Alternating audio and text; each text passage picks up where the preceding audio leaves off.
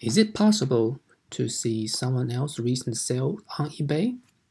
The answer is yes. For example, here is a list of eBay sellers I'm interested. Let's take this seller for example.